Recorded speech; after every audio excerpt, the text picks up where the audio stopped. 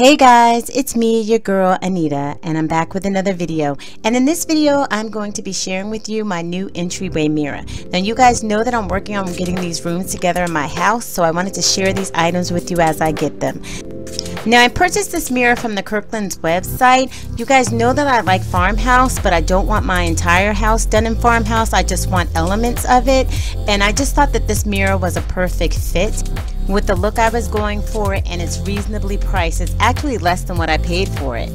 Now here Fred is just looking for studs to hang it up make sure that we have it has some support and it actually took all three of them Lonnie my Mr. Jimmy and Fred to hang this up because it is a little heavy and you want to make sure that it's hung properly as well as secured.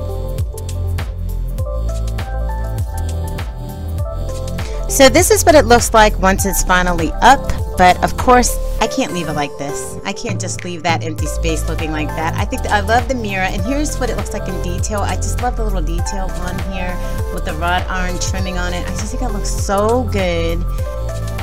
And then of course I had to add some greenery so I added this plant that I purchased at Home Goods that I thought was perfect. When I saw it I was like that would look great in front of my mirror. I have to get it and so I bought it and this is what they look like together. So this is what the space looks like with the mirror and the plant. Of course I'm going to be adding more items to the space but this is just the beginning and look how well it goes with my lamps that I put up and I can't wait until it's all done.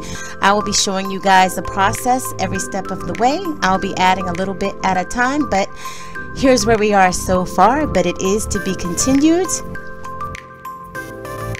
Now if you're interested in purchasing this mirror, I'll leave the link to it down below in the description box. And like I always say, some of you will like it, some of you will not, but that's okay because I love it.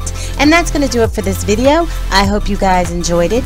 And as always, I just want to say thank you so much for watching. Thanks for rolling with your girl. I love y'all and I will see you in my next video.